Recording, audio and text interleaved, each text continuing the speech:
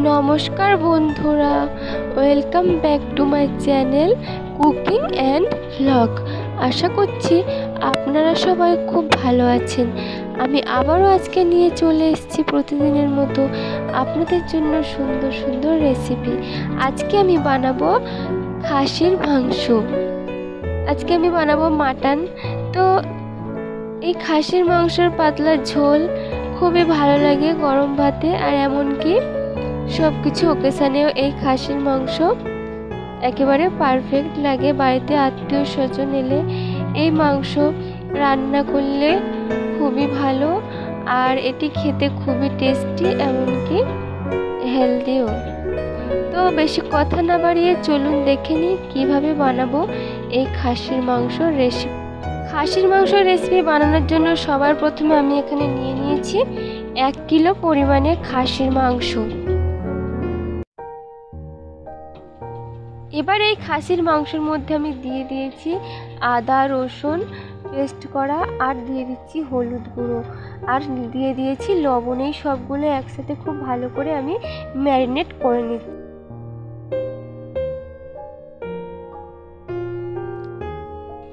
খুব ভালো করে ম্যারিনেট করে নেওয়া হয়ে গেছে। আমি পাঁচশো মতো আলু ওখানে বড় বড় পিস করে কেটে নিয়েছিলাম। আগের থেকে কড়াইতে তেল গরম করতে দিয়ে, সর্ষের তেল গরম করতে দিয়ে আলুগুলোকে আমি ভেজে নেব।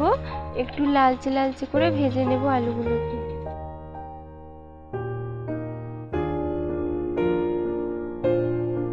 আলুগুলো লালচে লালচে কালার হয়ে আসছে। এবার আমি আলুগুলোকে নামিয়ে নিয়েছি। কড়াইতে আমি দিয়ে দিচ্ছি পেঁয়াজ কুচি। এখানে আমি দু থেকে আড়াইশো পরিমাণ পেঁয়াজ কুচি নিয়েছি, মাংস পরিমাণ মতো। তেলটা আমি দেওয়া হয়নি, তো আমি তেলটা মিক্স করে গেছি তো আমি এখানে আরও একটু সর্ষের তেল ঢেলে দিচ্ছি। এখানে আমি মশাল তেল ইউজ করেছি। এবার পেঁয়াজটা দেওয়ার পর হালকা ভাজা ভাজা হয়ে গেলে আমি এর মধ্যে দিয়ে দিচ্ছি পাকা লঙ্কা গ্রেট করা আর দিয়ে দিচ্ছি কয়েকটি কাঁচা লঙ্কা চেরা। এগুলোকে খুব ভালো করে ভেজে নিয়ে নিতে হবে। এগুলো একটু ভাজা ভাজা মতো হয়ে গেলে এর মধ্যে আমি আদা রসুনের পেস্ট দিয়ে দিচ্ছি। দু চামচ করে। মশলাটা খুব ভালো করে করে নিতে হবে, কষিয়ে নিতে হবে।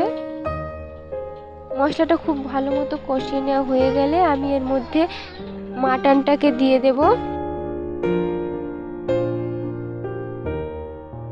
মাটনটা দিয়ে দিয়েছি, যেহেতু আমি আগের থেকে আদা, রসুন বা হলুদ গুঁড়ো, লবণ সব কিছুই দিয়ে মাটনটাকে ম্যারিনেট করে রেখেছিলাম, তাই জন্য আমি এখানে সব কিছু অল্প অল্প ইউজ করছি। এবার আমি এর মধ্যে দিয়ে দেব হলুদ গুঁড়ো, এই মাটনের মধ্যে দিয়ে দিচ্ছি দু চামচ মতো, কারণ আগের থেকে আমি সব কিছু দিয়ে রেখেছিলাম আর দিয়ে দিচ্ছি লবণটা, পরিমাণ মতোই দিতে হবে, স্বাদ মতো লবণ, আমি সব কিছু আগে থেকে ম্যারিনেট করে রেখেছিলাম, তো পরিমাণ মতোই বুঝে দিতে হবে। এবার আমি এর মধ্যে আলুটা দিয়ে দিচ্ছি। আলুটা দেওয়ার পর মাংসটাকে বেশ কিছুক্ষণ অন্তত পাঁচ মিনিট মতো খুব ভালো করে কষিয়ে নিতে হবে।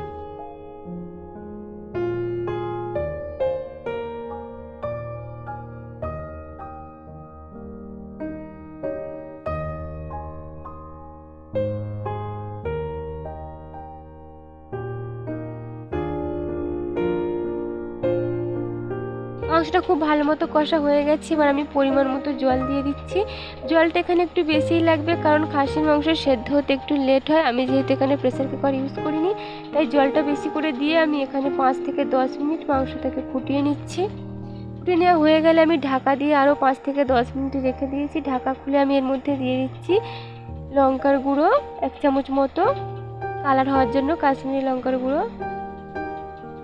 এবার আমি এর মধ্যে দিয়ে দেব জিরে গুঁড়ো চার চামচ মতো। কারণ মাংসটা সেদ্ধ হয়ে গেছে, আমি দশ থেকে পনেরো মিনিট মতো ঢাকা দিয়ে দিয়ে সেদ্ধ করে নিয়েছি মাংসটা। এবার জিরে পাউডারটা আমি এর মধ্যে দিয়ে দিয়েছি আর দিয়ে দেবো মিট মশলা গুঁড়ো দু থেকে তিন চামচ।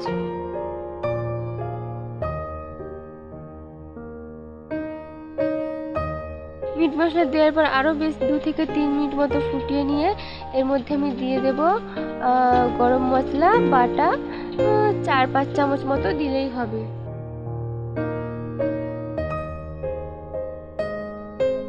এখানে গুঁড়ো গরম মশলাও ইউজ করতে পারবেন, কিন্তু আমি এখানে বাটা ইউজ করেছি, কারণ এতে করে টেস্টটা অনেক বেশি হয় আর সেন্টটা অনেক সুন্দর হয়। তো সবগুলো মশলা আমি দিয়ে দিয়েছি। এবার মাংসের মধ্যে এই মশলাগুলোকে খুব ভালো করে মিশিয়ে নেব। মিশিয়ে নিয়েই আমি নিলেই রেডি হয়ে যাবে এই তুলতুলে নরম, এই সুন্দর খাসির মাংসর পাতলা ঝোল। তো মাংসটা রেডি হয়ে গেছে, আমি নামিয়ে নিয়েছি। এবার আমি এই মাংসটাকে গরম গরম সার্ভ করছি। বন্ধুরা, আমার এই রেসিপিটি একবার অন্তত বাড়িতে বানিয়ে খেয়ে দেখবেন। খাসির মাংসকে যদি এরকমভাবে রান্না করে খেয়ে দেখবেন, আমি আশা করছি খুব ভালো লাগবে খেতে, খুবই টেস্টি এটা খেতে। একবার বাড়িতে বানিয়ে খেয়ে আমাকে জানাবেন কমেন্টের মাধ্যমে কেমন হয়েছে। আর যদি ভালো লেগে থাকে, তাহলে একটি লাইক কমেন্ট ও শেয়ার করতে ভুলবেন না। যারা আমার চ্যানেলে নতুন বন্ধু, তারা প্লিজ আমার চ্যানেলটিকে সাবস্ক্রাইব করে আমার পাশে থাকবেন। সাবস্ক্রাইব করে পাশে থাকা বেল আইকনটি প্রেস করে অল বাটনটিকে ক্লিক করুন, তাহলে আমার রান্নার নতুন নতুন সমস্ত ভিডিওর নোটিফিকেশান সবার আগে পৌঁছে যাবে আপনাদের কাছে। আজ এই পর্যন্তই, দেখা হবে পরের ভিডিওতে আমি আবারও ফিরে আসছি এরকম সুন্দর সুন্দর নতুন নতুন ভিডিও নিয়ে। ততক্ষণ পর্যন্ত সবাই ভালো থাকবেন, নমস্কার।